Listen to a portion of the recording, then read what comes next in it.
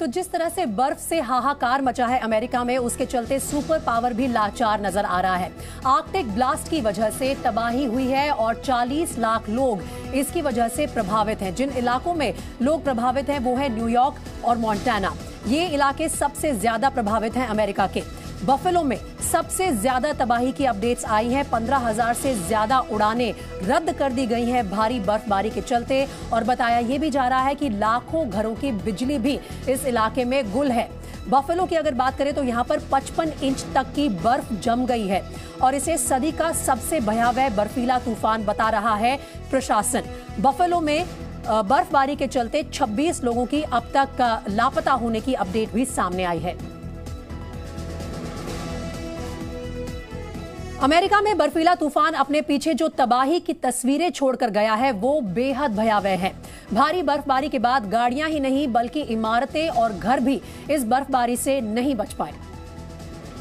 उत्तरी अमेरिका में आई बर्फीले तूफ़ान ने यहाँ का क्या हाल किया है उसे बयां करने के लिए ये तस्वीरें ही काफ़ी हैं। बर्फीले तूफ़ान ने मानो ज़िंदगी को यहाँ जमा कर ही रख दिया है। सड़कों पर गाड़ियाँ तो जमी ही हैं, दुकानें और मकान भी जम गए हैं। विस्कॉन्सिन की ये तस्वीर देखिए। दुकान पर बर्फ़ की परत बता रही है कि ये बर्फीला तूफ़ान कितना खतरनाक था। लकड़ी की ये इमारत किसी बर्फ़ के किले में तब्दील हो गई है। ये वीडियो किसी ने फेसबुक पर शेयर किया है। सोशल मीडिया पर शेयर किया गया एक और वीडियो देखिए। ये उत्तरी ओहायो की एवन लेक है। बर्फीले तूफ़ान की वजह से ये पूरी लेक ही जम गई है। न्यूयॉर्क में इस तूफ़ान की तबाही सबसे ज़्यादा थी। लोगों की गाड़ियाँ तक जहाँ तहां जम गई थी, कई इलाकों में बिजली आपूर्ति भी पूरी तरह ठप पड़ी हुई है। हज़ारों घर अब भी अंधेरे में है। शुक्रवार और शनिवार को आए बर्फीले तूफ़ान की वजह से अब तक 30 से ज़्यादा लोगों के मारे जाने की खबर है। 1977 के ऐतिहासिक बर्फीले तूफ़ान में भी इतनी मौतें नहीं हुई थी। 1977 के तूफ़ान में उनतीस लोगों की जान गई थी।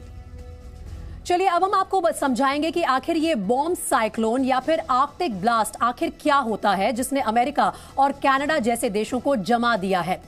पृथ्वी पर सबसे ठंडी जगह अंटार्कटिका है, जो उत्तरी ध्रुव पर मौजूद है।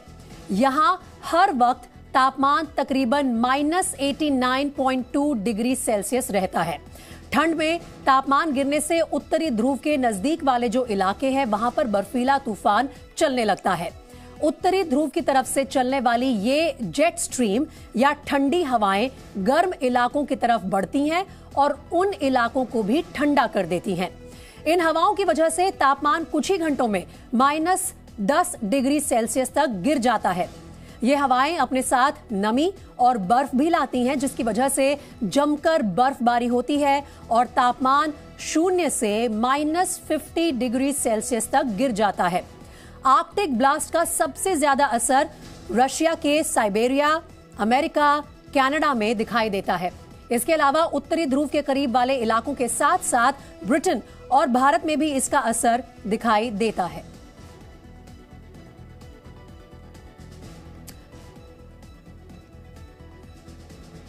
अमेरिका में बर्फबारी का असर जनजीवन के साथ साथ उड़ानों पर साफ़ तौर पर पड़ा है। बर्फीले तूफ़ान की वजह से न्यागरा इंटरनेशनल एयरपोर्ट पर बर्फ़ की मोटी परत जम गई है और इस परत को हटाने के लिए मशीनों की मदद ली जा रही है। मशीनों की मदद से एयरपोर्ट पर जो बर्फ़ जमी है उसे हटाया जा रहा है ताकि जल्दी से एक बार फिर से उड़ानों को यहाँ से शुरू किया जा सके।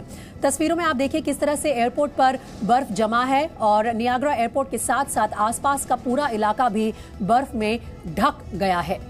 ये तस्वीरें एयर, एरियल सर्वे के दौरान ली गई हैं, जिसमें साफ़ दिखाई दे रहा है कि जहाँ पर आपकी नज़र पड़ेगी, वहाँ बर्फ़ नज़र आएगी, चाहे एयरपोर्ट हो, चाहे रेजिडेंशियल एरियाज़ हो। अमेरिका में बर्फबारी से सबसे ज़्यादा प्रभावित न्यूयॉर्क शहर है। यहाँ पर कई इंच बर्फ़ की मोटी परत जमी हुई है। आप देख सकते हैं कि यहाँ पर किस कदर बर्फ़ जमा है। गाड़ियों पर जमा बर्फ़ को देखकर लगता है कि मानो बर्फ़ का कोई छोटा टीला हो और इसी बर्फ़ के टीले को हटाने में जुटा है स्थानीय प्रशासन, ताकि जल्द से जल्द बर्फ़ को हटाकर जनजीवन सामान्य किया जा सके।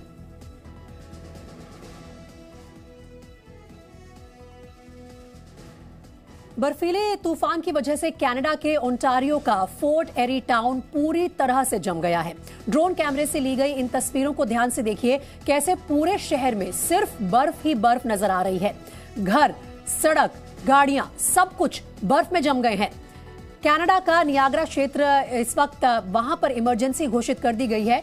Fort Erie, Crystal Beach, Port Colborne Wainfleet में हालात बेहद खतरनाक बताए जा रहे हैं।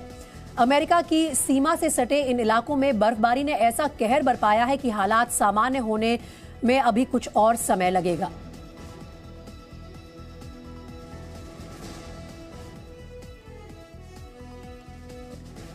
तो आपने देखा, अमेरिका के साथ साथ कनाडा में बर्फीले तूफ़ान ने जमकर तबाही मचाई है। बर्फीले तूफ़ान का असर कनाडा की कई उड़ानों पर भी पड़ा है।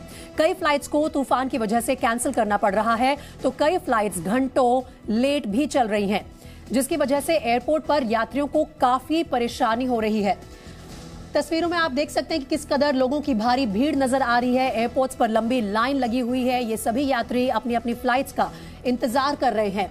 और कोई अपनी फ्लाइट्स की जानकारी इंफॉर्मेशन बोर्ड से लेकर संतुष्ट है तो कुछ लोग आ, कई बार सेंटर्स पर जाकर भी अपनी फ्लाइट्स की जानकारी उनका स्टेटस पता करने में जुटे हुए हैं। लेकिन फ़िलहाल जो फ्लाइट्स रद्द होने का सिलसिला है वो थमने का नाम नहीं ले रहा।